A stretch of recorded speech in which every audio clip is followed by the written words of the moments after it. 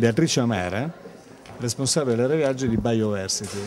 una delle più importanti no profit internazionali che si occupa della conservazione del patrimonio genetico delle piante. Che cosa può fare un responsabile per attenersi alle indicazioni delle aziende che sono sempre quelle, accidenti, di tagliare e contenere i budget per i viaggi d'affari? E contenere i costi, in questo caso ci sono varie possibilità. Prima potrebbe essere la, intanto importante la negoziazione con i vettori, la negoziazione di corporate e la seconda che noi puntiamo moltissimo è il best buy, comprare il biglietto alla tariffa più bassa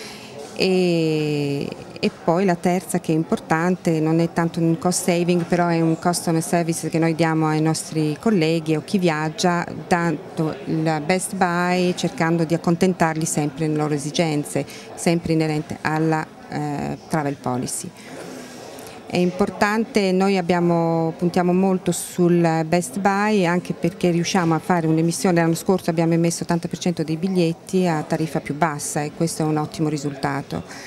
monitorando quotidianamente le prenotazioni anche perché le compagnie aeree sono sempre più restrittive sui time limit e sulla richiesta di emissione del biglietto immediato. È la prima volta che viene a Bistro Forum? Sì, è la prima volta e fortemente voluta perché mi interessavano tutti i topics che venivano discussi in questi due giorni